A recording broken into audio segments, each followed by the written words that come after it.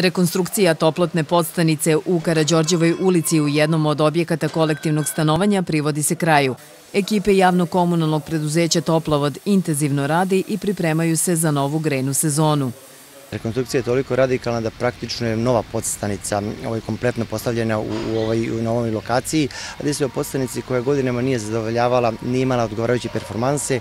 Jednom delu e, stanovništva stvarala je buku, a opet do drugog dela građana nije dobacivala potrebnu količinu ovaj, tople vode i energije. Tako da potrebno rekonstrukcijom očekujemo da tri zgrade sa bogami desetak ulaza nekoliko stotina naših ovaj, korisnika dobije i bolje i konfornije i kvalitetnije grejanje i to je tek jedna od podstanica podstanica, trenutno smo u rekonstrukciji tri toplotne podstanice, rad na mnogo šahtova, rad na završetku sanacija i havarija koje su detektovane u toku zime, tako da zaista ovo je za sada najintenzivniji period u sanacijama. Radovi napreduju predviđenom dinamikom, a bliži se trenutak kada će sa tenta krenuti hladna voda. Naime, od 1. septembra počeće zapunjavanje toplovodnog sistema.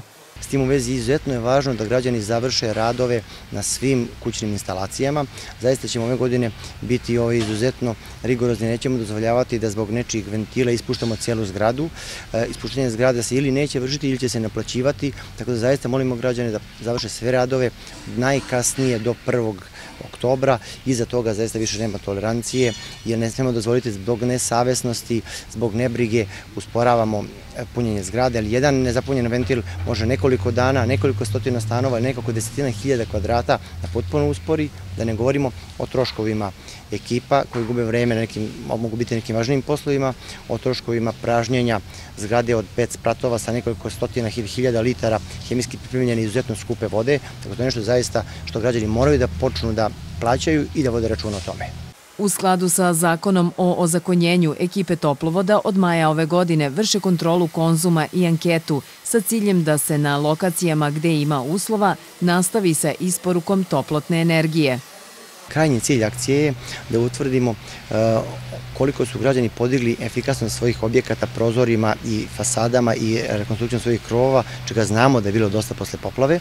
Ovi pokazatelji o dodatnoj količini energije koja se stvara podizanjem energetske efikasnosti iskoristit će nam da ozakonimo sve one kvadrate koje su građani priključili što posle poplave, a što bez saglasnosti toplovoda Obrenovac. Pozivamo korisnike koji su dobili obaveštenje toplovoda da se podhitno jave u toplovod kako bi na zakonit način omogućili grejanje onih površina koje do sada nisu mogli da, da, ovaj, da legalizuju.